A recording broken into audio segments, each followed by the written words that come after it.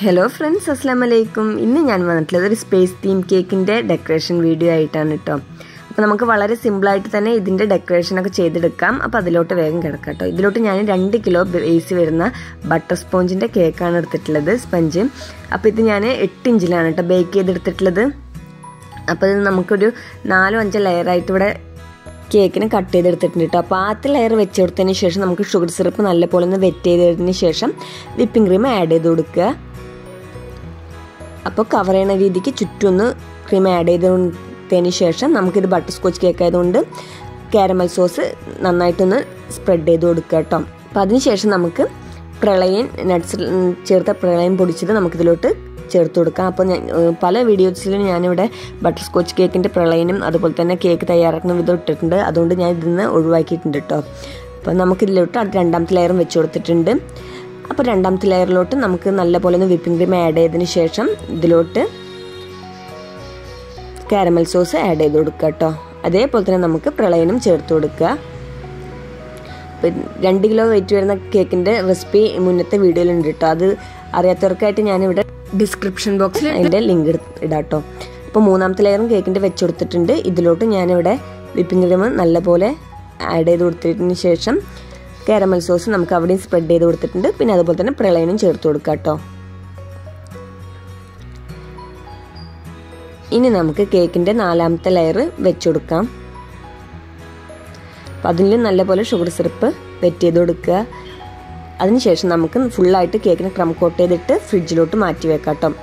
കേക്കൊക്കെ crumb coat ചെയ്തിട്ട് നമ്മൾ ഫ്രിഡ്ജിലോട്ട് മാറ്റി വെച്ചിട്ടുണ്ട്. അപ്പം ഞാൻ ഫുൾ ഫ്രോസിങ് ചെയ്യാൻ വേണ്ടിയിട്ട് ബ്ലൂ കളറാണ് ഞാൻ ഇവിടെ എടുത്തിരിക്കുന്നത് കേട്ടോ. അപ്പോൾ ഇതിൽ നേവി ബ്ലൂവും റോയൽ ബ്ലൂം കൂടെ മിക്സ് ചെയ്ത കളറാണ് കേട്ടോ ചേർത്തിരിക്കുന്നത്. അപ്പോൾ ഫുള്ളായിട്ട് കളർ മിക്സ് ചെയ്യണ്ട. അപ്പോൾ ലൈറ്റായിട്ടൊരു വൈറ്റ് ആ വിപ്പിംഗ് ക്രീമിന്റെ കളറും പാടെ ഇരുന്നു കേട്ടോ അപ്പോൾ നമുക്കൊരു സ്പേസിന്റെ ഒരു കളർ കോമ്പിനേഷൻ കിട്ടാൻ വേണ്ടിയിട്ടാണ് കേട്ടോ അപ്പം നമ്മൾ ബീറ്റർ വെച്ചിട്ട് കളർ മിക്സ് ചെയ്യണ നേരത്ത് ഫുള്ളായിട്ട് നമ്മൾ ബീറ്റ് ചെയ്തിട്ട് മിക്സ് ഓവർ മിക്സ് ആക്കണ്ട കേട്ടോ അപ്പോൾ ഇടയിലൊക്കെ വൈറ്റ് കളർ ഇരിക്കുമ്പോൾ കാണാൻ നല്ലൊരു ഭംഗിയും കൂടിയാണ്. അപ്പോൾ ഈ കളർ വെച്ചിട്ടാണ് ഞാൻ ഈ കേക്കിനെ സ്പേസ് തീം കേക്കിനെ ഫുള്ളായിട്ടൊന്ന് ഫുൾ ഫ്രോസ്റ്റിംഗ് ചെയ്തിട്ട് വരുന്നത്.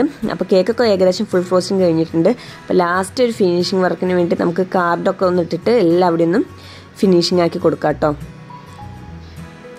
അപ്പോൾ ഇത് വെച്ചിട്ട് ചുറ്റും ഒന്നിങ്ങനെ ഫിനിഷിംഗ് ആക്കി കൊടുക്കുന്നുണ്ട് ഞാൻ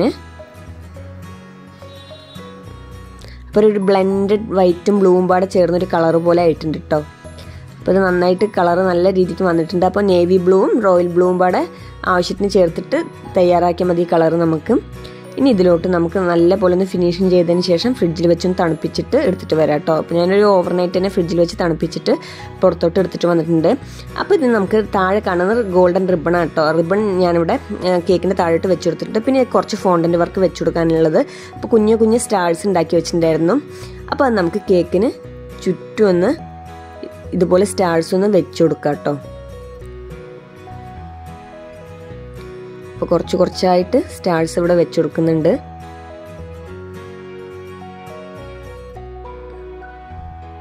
അപ്പോൾ സ്റ്റാർസിനൊക്കെ പലതരം കളറും നമുക്ക് യൂസ് ചെയ്യാൻ കേട്ടോ അപ്പോൾ ഞാനിവിടെ ബ്ലൂവും പീച്ചും വൈറ്റൊക്കെ ആയിട്ട് യൂസ് ചെയ്തിട്ടുണ്ട്.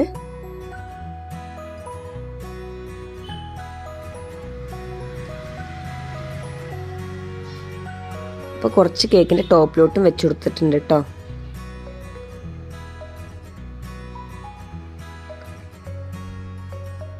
അപ്പോൾ ഇനി ഇത് ചെയ്തതിന് ശേഷം റോക്കറ്റ് പോലത്തെ ചെറിയൊരു കട്ടൗട്ട് എടുത്തിട്ട് നമ്മളിവിടെ ഉണ്ടാക്കി വെച്ച ഫോണ്ടന്റ് വർക്കിൽ ഉണ്ടാക്കി വെച്ച ഒരു റോക്കറ്റാണ് കേട്ടോ അപ്പോൾ അത് അത് കേക്കിന്റെ സൈഡിലോട്ട് നമുക്ക് ഒട്ടിച്ചു കൊടുക്കാം കേട്ടോ അപ്പോൾ ജസ്റ്റ് ക്രീമിൽ തന്നെ നമുക്കൊന്ന് ടച്ച് ചെയ്ത് കൊടുത്താൽ മതി. അത് അങ്ങനെ നിന്നോളും. പിന്നെ നമ്മൾ ഒരുപാട് വെയിറ്റോടെ ചെയ്യരുത് കേട്ടോ അപ്പോൾ ഇത്തിരി കനം കമ്മിയോടെ തന്നെ സൈഡിൽ ചെയ്യേണ്ടത് വർക്ക് ചെയ്തെടുക്കുക.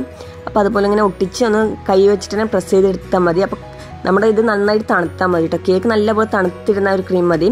പിന്നെ നമുക്കിതിൽ അടുത്തതായിട്ട് വെക്കാനുള്ളത് ഇപ്പോൾ പ്ലാനറ്റ്സ് ആണ് വെച്ച് കൊടുത്തിട്ടുള്ളത്. അത് ഞാനിവിടെ ഒരു ബ്ലെൻഡഡ് കളർ പോലെയാണ് ഇട്ട് ചെയ്തിട്ടുള്ളത്. അപ്പോൾ നമ്മൾ ഫോണ്ടന്റ് എടുക്കുമ്പോൾ വൈറ്റും ബ്ലൂവും പാടെ മിക്സ് ചെയ്യുമ്പോഴൊക്കെ ബ്ലെൻഡഡ് ആയിട്ട് ചെയ് ചെയ്തെടുത്താൽ മതി. അപ്പോൾ ഇത് ചെറുതും വലുതൊക്കെ ആയിട്ട് പല ഭാഗത്തായിട്ട് ഞാനിവിടെ വെച്ച് കൊടുക്കുന്നുണ്ട് കേട്ടോ കേക്കിന്റെ പിന്നെ കേക്കിന്റെ ടോപ്പിലായിട്ട് റോക്കറ്റ് ഉണ്ടാക്കി വെച്ചിട്ടുണ്ട് കേട്ടോ അപ്പോൾ ഞാനതിങ്ങനെ നമുക്ക് ഒരു ടൂത്ത് പിക്ക് നമുക്ക് സ്റ്റിക്ക് വെച്ചിട്ട് ഇറക്കി വെച്ച് കൊടുക്കാം. അതുപോലെ തന്നെ ആസ്ട്രോനോട്ട് ബോയിന് ഉണ്ടാക്കി വെച്ചിട്ടുണ്ട് കേട്ടോ അപ്പോൾ അതുപോലെ തന്നെ കുട്ടിയുടെ ആ കുട്ടികളുടെ ഇത് കസ്റ്റമൈസ്ഡ് കേക്കായിരുന്നു അപ്പോൾ കുട്ടികളുടെ ബർത്ത്ഡേക്കുള്ള ടാഗും ഇവിടെ വെച്ച് കൊടുത്തിട്ടുണ്ട്.